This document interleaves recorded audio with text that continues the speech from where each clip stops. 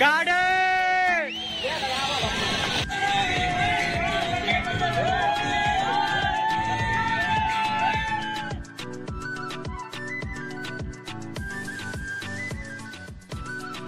So hello नमस्कार दोस्तों, स्वागत है आपका फरखाबाद वाइब्स के एक और नए ब्लॉग पर। दोस्तों, जैसा कि आपको पता है कि बसंत पंचमी को थोड़ा मौसम खराब रहा है और मौसम ने थोड़ी करवट ली थी, पर आज जो है मौसम थोड़ा खुल भी गया है। तो आपको आगे के दिखाते हैं। फ़िलहाल हम लोग शुरुआत करते हैं बसंत पंचमी की, जो कि फरुखाबादियों के लिए बहुत ही बड़ा त्यौहार रहता है।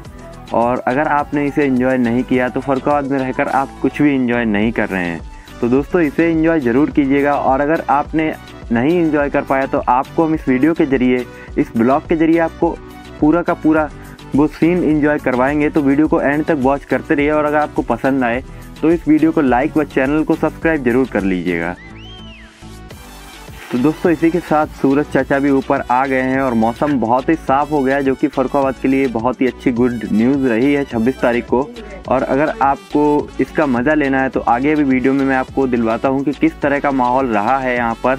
तो चलिए दोस्तों दिखाते हैं आपको वो माहौल।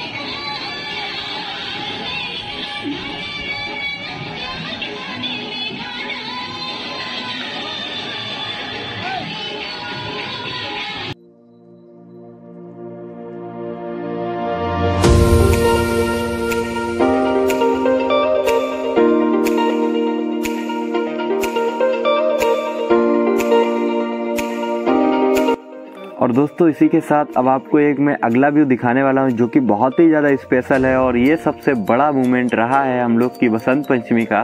तो आप भी इसे एंजॉय कीजिए और देखिए कि किस तरह फरुखाबादी मनाते हैं बसंत पंचमी को।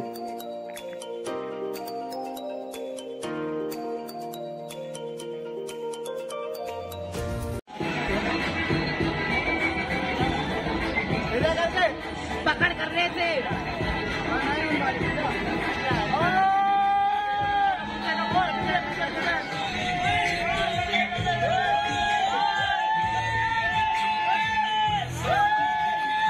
तो दोस्तों, इसी के साथ शुरुआत हो चुकी है शाम की और सूरज चाचा भी अपने घर की तरफ़ प्रस्थान कर रहे हैं और अब आपको दिखाते हैं कि फरुखाबादी शाम को पतंगबाजी के बाद किस तरह का माहौल रंगीन करते हैं।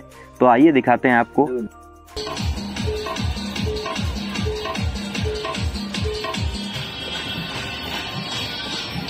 लगा सही से, अनार में। हाँ लग गई लग गई। अरे।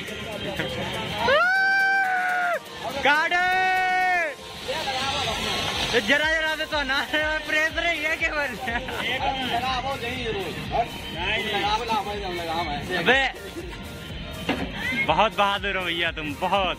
इतने बहादुर हो। एक भी राकेट नहीं आ रहा मतलब पाँच कुछ तो है नहीं पड़ गई है। जो पड़ गए तो सुरिया दो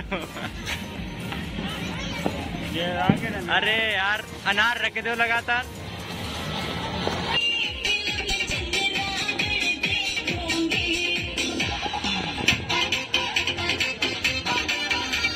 और इसी के साथ असली चीज़ जो है वो स्काई लैंटेन है। बहुत ही ज़्यादा अच्छा लगता है देखने में आसमान पर जब भाई से छोड़ देते हैं। तो आइए दिखाते हैं आपको।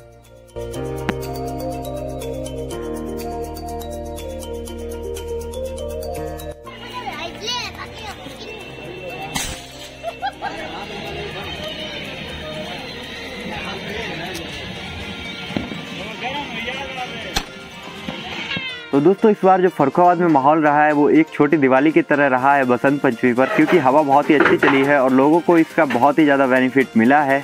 तो आपको अगर ये ब्लॉग पसंद आया तो इस ब्लॉग को लाइक कर दीजिएगा और अगर चैनल पर नए हो तो चैनल को सब्सक्राइब करके बेलाइकन को प्रेस कर लीजिए, ताकि हमारे और आने वाले वीडियोज़ के नोटिफिकेशन आपको टाइम पर मिलते रहें।